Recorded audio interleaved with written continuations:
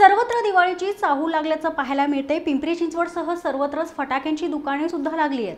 मात्र शहरात विना परवानानी रहिवाशी परिसरात उभ्या केलेल्या फटाका स्टॉलवर आज पालिकेने हातोडा चालवलाय आणि याला व्यापारी संघटनांनी देखील प्रतिसाद दिलाय. चिखली परिसरातील साने चौका कृष्णानगर चौकातील फटाक्यांच्या चाळीस ते पन्नास स्टॉलवर आज अतिक्रमण विभागाकडून कारवाई करण्यात आली आहे. फटाका विक्रेत्यांच्या विरोधात विरोधी पक्षनेते दत्ता काका साने यांनी आक्षेप घेतला असून बाधित व्यापाऱ्याचं पोलीस आयुक्तालयावर मोर्चा काढण्यात आलाय. परिसरातील सर्व व्यापारी दुकाने बंद ठेवून मोर्चात सहभागी झालेत.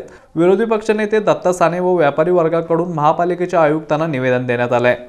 अतिक्रमण हे कारवाई नाही अतिक्रमण कारवाई आम्ही करायला लावली. साने चौक ते थर्मे चौक थर्मे साने चौक ते शिवरकर चौक या परिसरामध्ये अनऑथराईज फट फटाके स्टॉल नंतर अन अनऑथराईज रिक्षा स्टँड आणि जे पत्रीवाले आहेत त्यांचा व्यापाऱ्यांना खूप मोठा त्रास होतो आहे कारण व्यापारी हे स्वतःची दुकानं जवळपास दहा दहा वीस वीस पंचवीस पंचवीस लाख रुपये देऊन किंवा कोणी वीस वीस हजार रुपये भाडं देऊन दुकानं तिथं घेतलेली आहेत. आणि त्या दुकानाच्या पुढे पत्रेवाले हे स्टॉल बी लावल्यामुळं आमचे व्यापारी सगळे त्रस्त झालेले आहेत. व्यापाऱ्यांना धंदा राहिलेला नाही. बन बरं दिवाळीच्या सणामध्ये आज व्यापाऱ्यांनी आमच्या परिसरामध्ये साने चौक ते थर्मॅट चौक ही दुकानं बंद केलेली आहेत. याचा खरं तर ग- गांभीर्याने विचार करावा.